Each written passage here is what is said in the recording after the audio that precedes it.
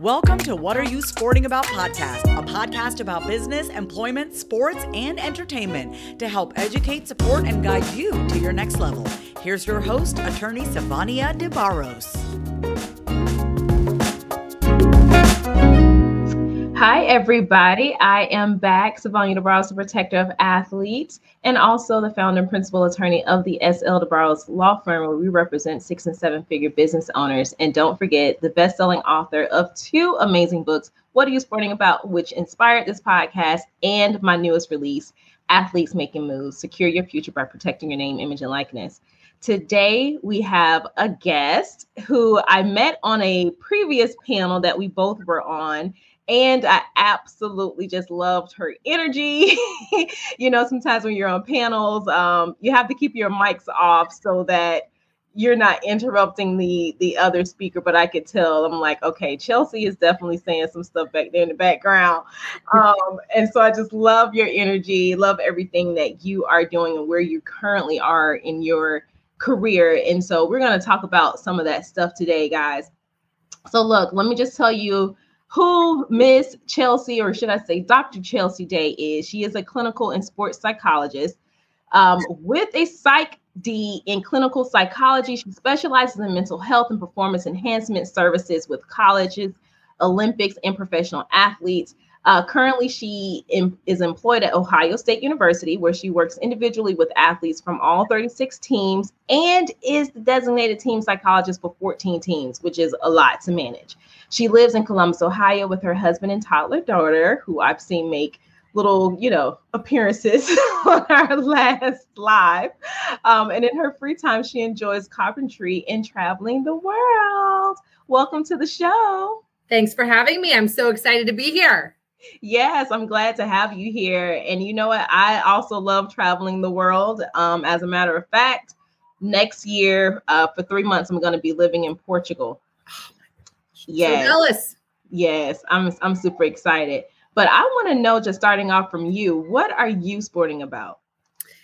You know, right now I am in in the time of year where things are finally slowing down. You know, the the kind of schedule in college sports is such that you know you grind out in september october november and you get a breather before it all starts again. So it's been such an active semester with mental health on the forefront of conversation in sports with NIL and and the emergence of that in sport you know with just the chaos that is the post-ish post-covid season that first season back for some of our sports having two seasons in one year which is insane um, and so you know, I am I'm trying to survive, but but really have been thrilled to to be able to get our student athletes through kind of the first normal-ish semester in in over a year. So that's what I'm sporting about lately.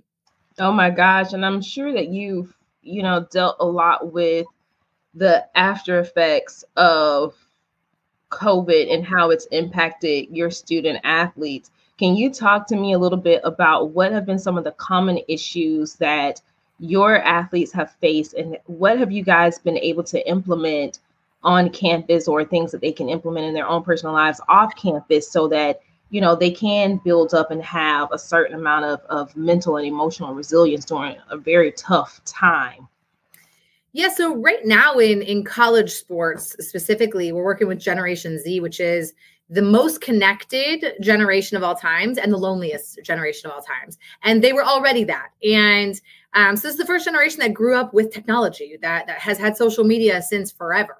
And COVID really threw a wrench in that, that it amplified the loneliness while also increasing the reliance on technology um, for that connection. But, you know, as many of us have experienced, this is awesome and it has limitations. And so the reemergence into kind of life um, after all of this time in isolation or at least very limited interaction has has really amplified a lot of anxiety. So anxiety was already the the top presenting issue for for everybody but particularly college aged individuals and specifically our student athletes that social anxiety is on the rise um, performance anxiety is on the rise. We've got fans coming back into stadiums. We've got kind of the reemergence of their high profile nature. So even going back into the classroom and having to interact with non-students and, and increasing some of that anxiety there, um, we've really seen that that increase. And it's also a post-Olympic year, so um, we had 12 Olympians coming back, and, and that's a really hard time. Whether you went to trials and didn't make it, whether you went to the Olympics and regardless of performance. So we've got this really complicated picture of things. Um, and so we've really had to focus on how do we meet them where they're at? How do we how do we continue utilizing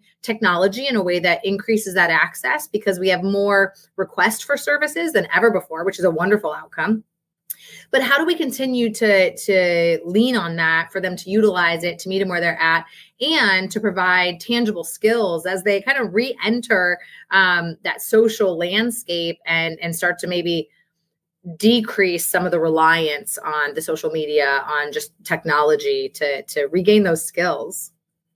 No that's good. What what you know how has the i guess the communication skills been impacted with you know, COVID 19 because, you know, you're taking outside of, like you said, the social environment where you are constantly with somebody, talking to somebody, strategizing with someone.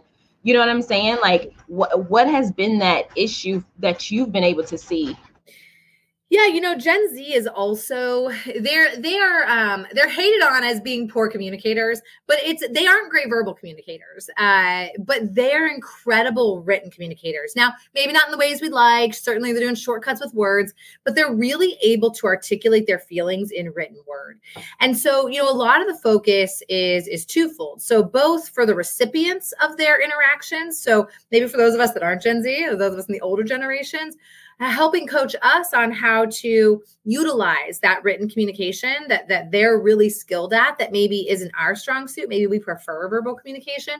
And then helping kind of coach them up on how do we take how do we how do we tell them like you're actually a really good communicator. How do we develop skills to reduce the anxiety so that you can take your your good written skills and kind of transfer those to, to that communication. So they really are good at that stuff. They're just not used to speaking about it. And so um, i actually think that's one way that NIL stuff might actually help even though you know that that'll be kind of both positives and negatives.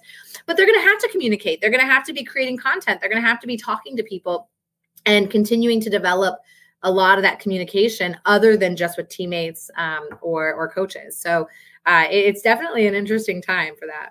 Yeah, for sure, for sure. You know, I want to ask you because you can see the doors like flying open. So for you guys who are probably catching this um, at a later date and only listening to it. I have I'm working from home with my toddler son who's four, um, and so we know that kids can come in and, and, interrupt at any given moment, and there is definitely some form of a balance. Don't know if I've actually gotten it, but I want to ask you. Um, first part of my question is being a mother, because you you are a mother. Um, do you think that's giving you a different set of skills in your job and how you interact with student athletes.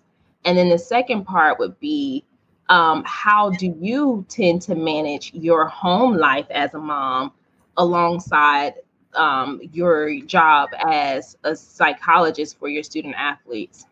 Uh, two phenomenal questions. So, yeah, you know, I think that being a mom has absolutely changed who I am as a as a sports psychologist, um, how I interact with student athletes, and and you know, I it's easy it's it's easy for me to kind of flippantly say i think i'm better for it but i don't know that i'm better for it. You know i think that i was i think i was excellent beforehand but but i don't think you have to be a mother to be good at it but I, it certainly has changed my lens in terms of just a different way that i view my role a different way that i view myself.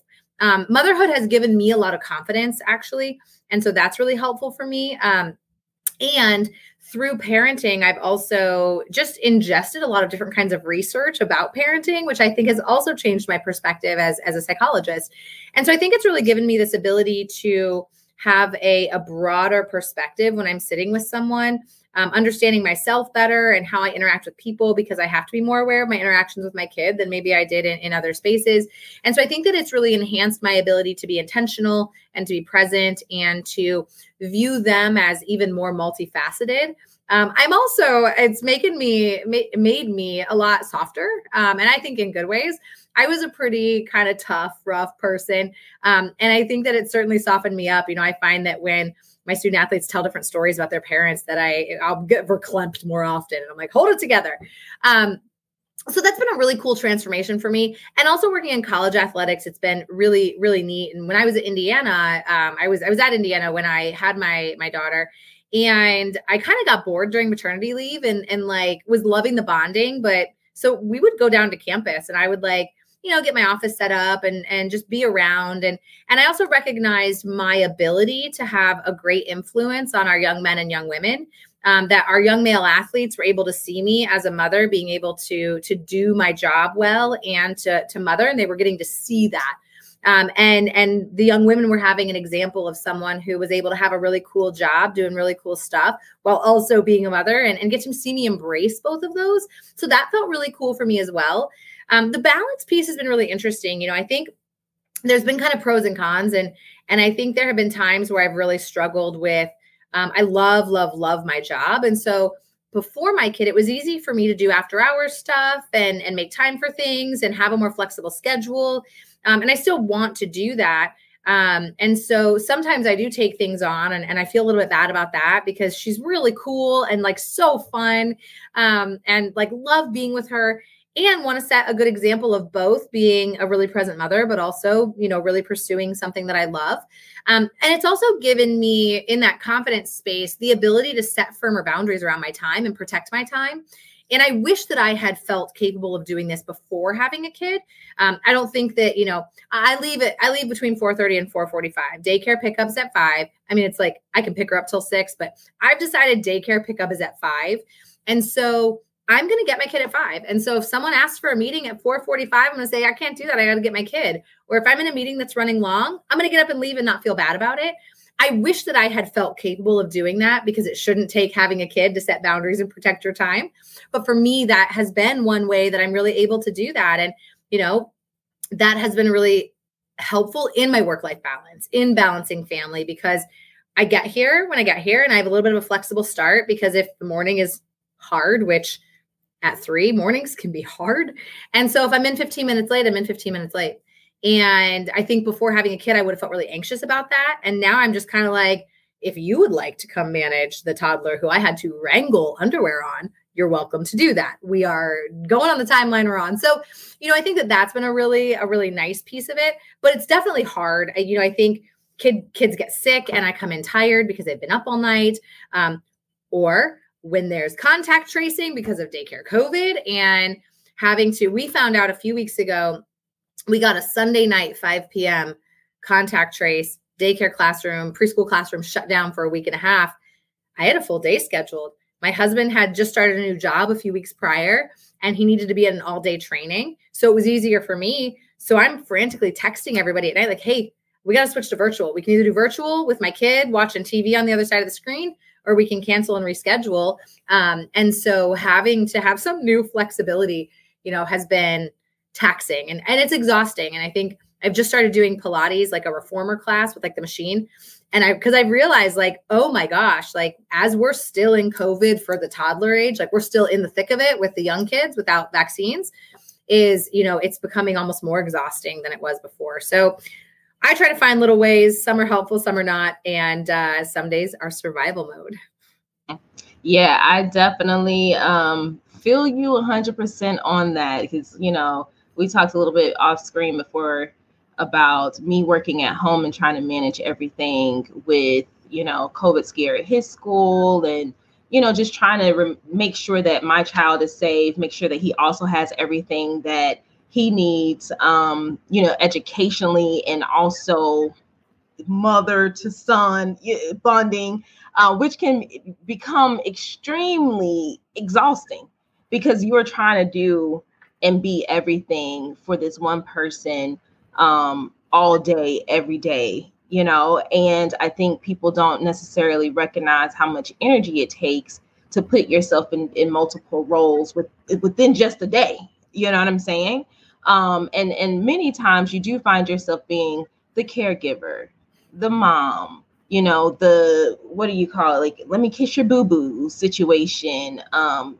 let me come over here so we can do some curriculum so I can teach you something so you can actually grow up to be yeah. a, a, solid individual. And so I, I, definitely know the the struggle is real out here for a lot of people who are still in deep in this COVID phase. Um, actually have a comment. This is actually my husband, Eduardo de Barros. He said, Wow, we went through the same thing. So he definitely knows. He knows what time it is.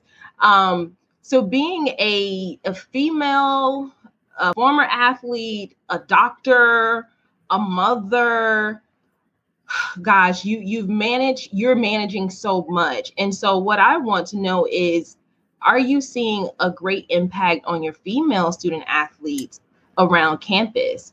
Um, is do do they get a little bit of insight in terms of who Dr. Chelsi Day is, um, not just on campus, but what your home life looks like?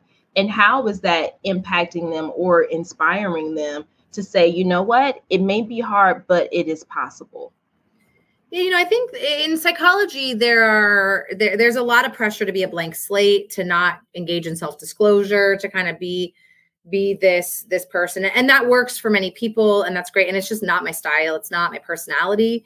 Um, i just don't thrive that way. Um, now, you know, when I engage in self disclosure, I'm always trying to think: is am I doing this for me or for them? And if it's for me, you know, lock it down. If it's if it's for them, but but I do, you know, one of the things that's really important to me is particularly with my teams, um, and some of them I, I have more access to than others, but really trying to be at practices and be around and be Chelsi, not just Dr. Day, and and them getting to see, you know, who I am. Um, I was able to. We I did a an activity with our rowing team in the midst of COVID and brought my kid and she helped me lead the activity and that was really cool we were using one of her books and um, you know i really tried to be very authentic because i do think that there is that secondary maybe more passive influence that certainly what i'm doing in the therapy room certainly when i'm doing performance consulting there's really tangible intentional stuff that i'm doing um, but i also think that there is that potential for them to see and and certainly we can never have it all but but we can kind of have it all right we can have we can have a lot of a lot of things. We can't maybe have all of everything,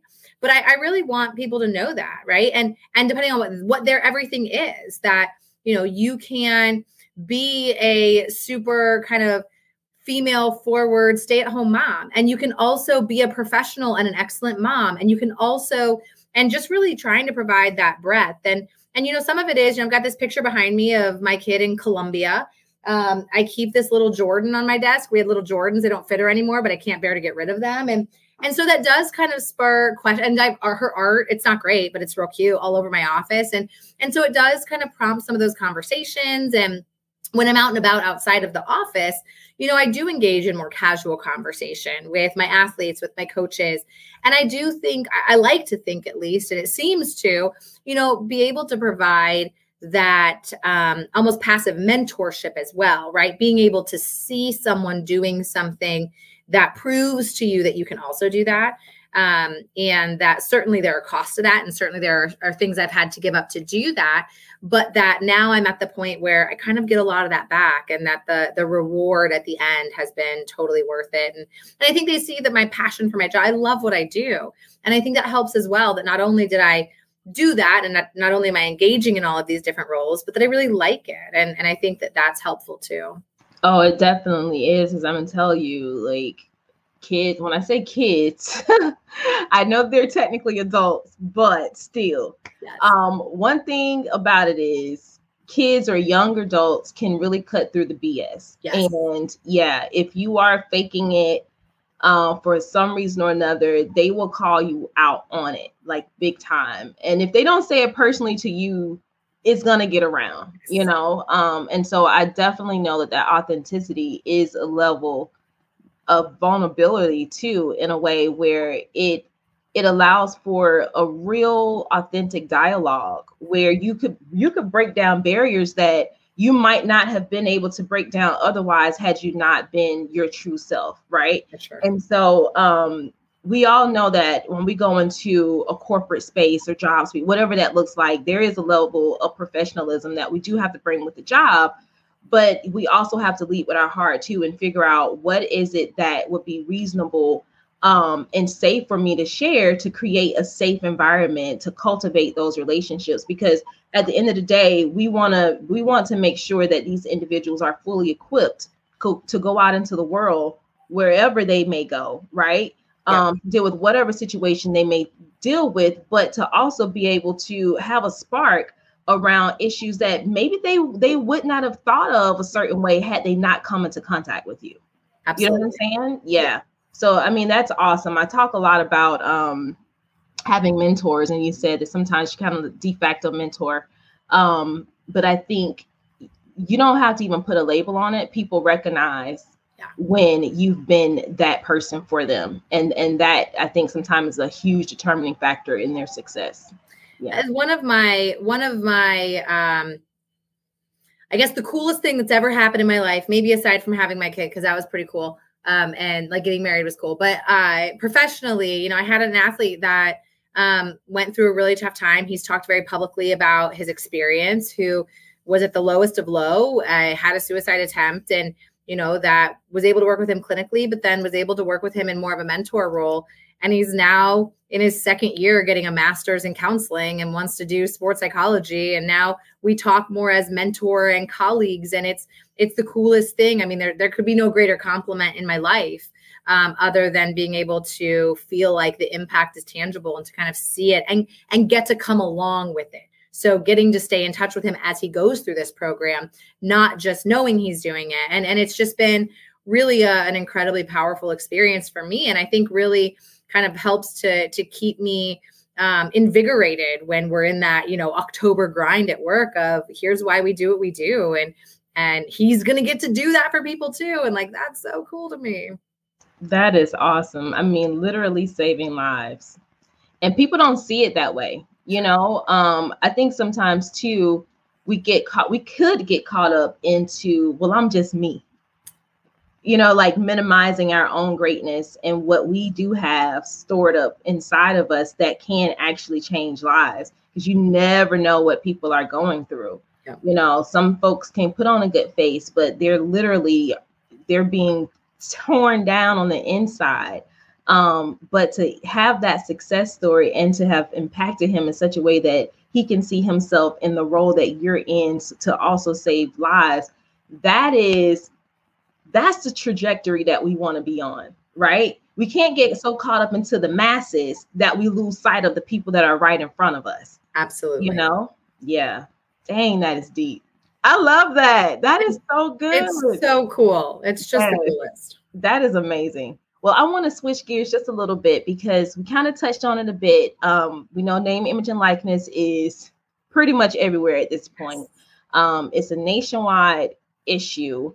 Um, a lot of states have enacted this opportunity for student athletes to monetize through like sponsorships, um, some types of endorsements. People are getting social media deals. Folks, I mean, there are athletes who are who have been able to monetize their NIL, like with car dealerships. Mm-hmm. All types of things are happening. And so I want to know, like, what have been some of the top stressors for your student athletes? Have they discussed issues or problems that that I don't know, maybe centers around a form of anxiety with stepping out into this phase? What have those conversations been like? It's been varied, right? For some, it's been incredibly positive. It's been a really great opportunity that's helped them to enhance their lives, to help their families um, in a way that maybe isn't so stressful, that, you know, it, it's been easy um, depending on who they're working with and depending on the profile, you know, the level of profile of them as an athlete. I think that so for that stuff, you know, it, it's great, and I think I think it's important. I think for for equality and equity um, in terms of you know what departments get from athletes and now them being able to, to benefit in the same way. I think that's huge. Um, you know i think some of the the pitfalls or some of the things that we probably could have anticipated but it all happened really fast right? Like we knew it was coming and then it was here and we were like oh my gosh okay. Um, you know, I think that we are seeing some family stressors. So I think there's pressure. Some of my athletes have pressure from their families to pursue as many opportunities as they can um, to whether it's pay for their own livelihood at school or to help support their family because their family needs that. Um, I think that we're seeing some of our our athletes get really excited about it i mean it's it's it's very it's very good for the ego to have people that want to work with you right but not realizing what that commitment's going to entail so you know i've got athletes who have things sitting that they need to do a they need to do an unboxing on instagram but they don't get home from practice in class until 9 p.m. and there's no audience on Instagram at 9 30 p.m. for them. And so they can't do it then, but then there's the pressure to do it. And but when are they going to find time to do it? So I think there's things like that that it's creating maybe unforeseen pressures where an unboxing doesn't sound that stressful. Open the box of stuff, talk about how cool it is until you start to try to figure out where it's going to fit and start to do it in a way that actually benefits the company that's asking you to do it. Um, I think that that some of them did you kind of didn't go, know it didn't go in knowing so they aren't sp- social media experts and so when they're creating content is it up to par are companies going to come back and say it's not what we're looking for and they have to redo it and, and some of that stuff um, I think there is some of that maybe competitive piece of well my teammate got this why am I not um, especially if maybe I actually perform better than my teammate and how did they get this opportunity and I didn't so you know again some of that ego threat um, of am I good enough? You know, am I attractive enough? Am I good enough? Am I a good enough person? Um, so I think there's it, it's it's maybe picking at some scabs for people, um, and so a lot of it is is really. I mean, I think everybody has dealt with it so different, and so I think it's really meeting people where they're at on that. Um, I think that as a psychologist, if I go if I go real deep psychology, um, you know, honestly, I think that it can be really really helpful because while it creates distress for some, then we know where those points of tension are, right? So if I am talking about understanding comparing myself to my teammate because they're more attractive or they get more playing time so they get more opportunities or whatever whatever. Guess what? I now have so much to work with right? Let's talk about insecurity. Let's actually get to the meat of stuff. Let's actually dig in to some core issues that we can deal with that can be helpful beyond in life. So you know, I think it's stirring up a lot of more of added stress and pressure. Again, I think it's necessary. I think it's important. I think it's a no brainer that student athletes should have access to this.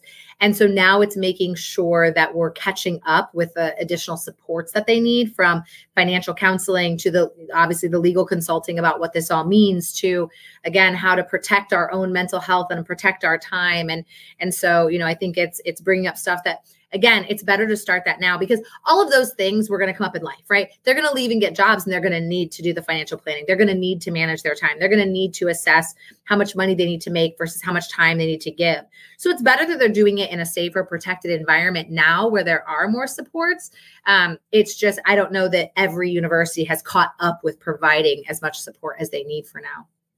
Yeah, you're absolutely right. And one thing that really um, stuck with me as you were speaking was the confidence, because um, this this will be an issue where it can make or break the individual in their studies, you know, for school, how they perform on the field, yep, sport, whatever your sport is, um, but also how they perform when they do have a business opportunity. You know, I don't think that some folks recognize name, image, and likeness as being a, a threefold issue, you know, being a student, being an athlete, and then also being an entrepreneur or business owner, right? There, there are three layers or levels to this thing.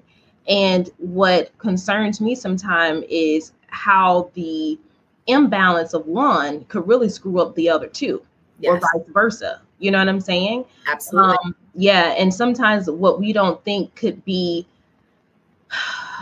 I would say maybe a loose thread in some certain situations could tend to unravel everything.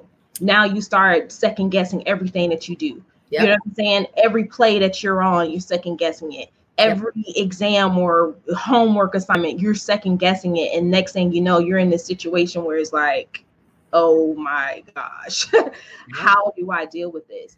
You know what I'm saying? yep. So, I also, I'll also be curious to see. I was just thinking about this today. I hadn't thought about it before. Um, come April, that uh, we, our athletes are getting money for this stuff and they're spending it. And come April, having to recognize that they are not employees of any of these companies. And I think that I remember my very first 1099 experience and spending the money in the spot in the summer.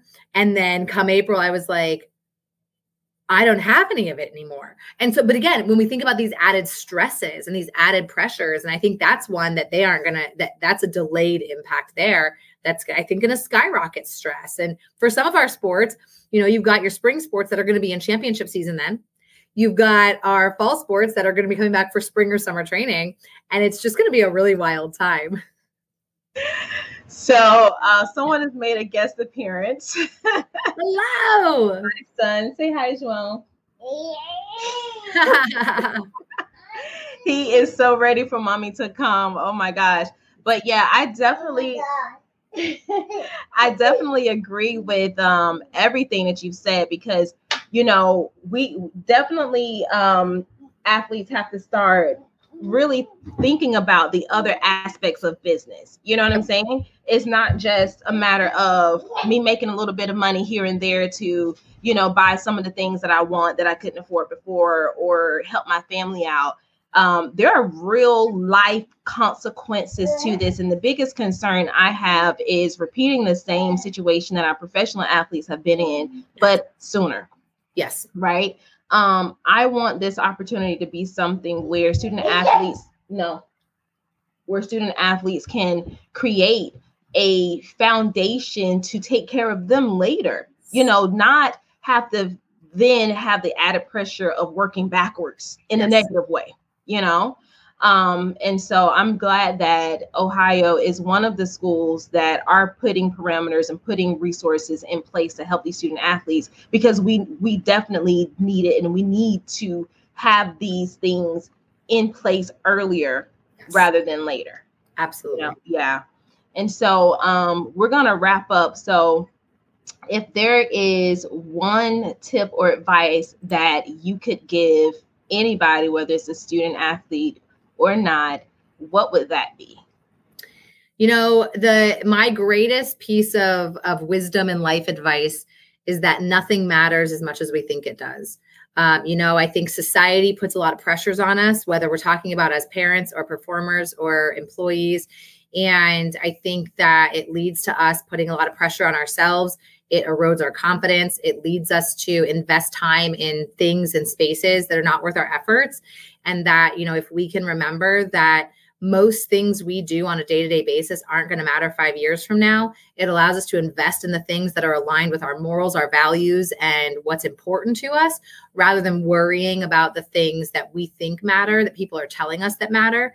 Um, you know again whether that's career advancements whether that is a missing a practice whatever it is that we tend to put a lot more weight on things than they than they really deserve. And so you know being able to to maintain perspective and recognize that stuff matters very little. And so we have to do for ourselves what we need to do for ourselves because we live our lives day in and day out.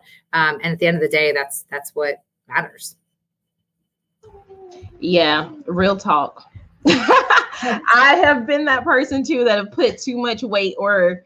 Energy into stuff that really at the end of the day when you hindsight is 2020 yes. you know you go back to review those things and you're like yes. I waste so much time in this space? Like it added no value to None. my life to None. nothing. Yes. yes. Yes. Please take dr day's advice. Stop putting weight on things that don't matter that much. Like seriously. Um, if you are a student athlete who is trying to find a resource, some form of guidance to help you to protect your name, image, and likeness. I want you to not wait any longer. Go to athletesmakingmoves.com and get our newest best-selling book, Athletes Making Moves, so that you can be educated in this space. And if you are looking for a college speaker, look no further than the protector of athletes right here for your next next college event. Dr. Day, thank you so much for coming on to the podcast. It has been a super pleasure, a joy, and I'm just so glad that you also understand the triggers, the rigors of parenting, and you know, so having little people to come and do their debut um, sometimes happens on camera. So thank you so much for being patient with that. Absolutely, and don't don't sell yourself short. We have your two kids' books, and we love them. So don't forget, author of children's books. Both are in our house. with signed copies, so we're pretty big time. Oh my gosh, um, I totally forgot about that. It hasn't even been that long ago. so highly recommend those as well. Thank you. And guys, so if you don't know, she's talking about JoJo's Legal Adventures, which is inspired by the little guy that just left out of here. Um, JoJo's Legal Adventures is a series that is still building, but it brings and introduces legal concepts, like very small legal concepts, in a context that they can understand in their own little lives. So if you are interested in those books, make sure that you head over to jjlegaladventures.com to get your copies. Thank you so much for reminding me about that. Of course. and listen, one more thing. Go to your favorite podcasting platform and make sure that you subscribe to What Are You Sporting About so you never, ever, ever, ever miss an episode. I am your host, Sivonnia Ross, protector of athletes. And as always, it is my pleasure to educate you, motivate you, and inspire you to your very next level. Until next time, guys, ciao. Thanks for joining us this week on What Are You Sporting About podcast. Make sure to visit our website, prosportlawyer.com, where you can subscribe to the show in iTunes, Stitcher, or whatever your favorite platform is so you'll never miss a show. And while you're at it, if you found value in the show, we'd appreciate a rating on iTunes or iHeartRadio. Or if you'd simply tell a friend about the show, that would help us out too. If you like the show, you might want to check out our book, What Are You Sporting About? Attorney Sivonnia DeBarros is available for private consulting at sldebarros.com. And remember, we're here to educate, support, and guide you in your journey to success because we're all sporting about something.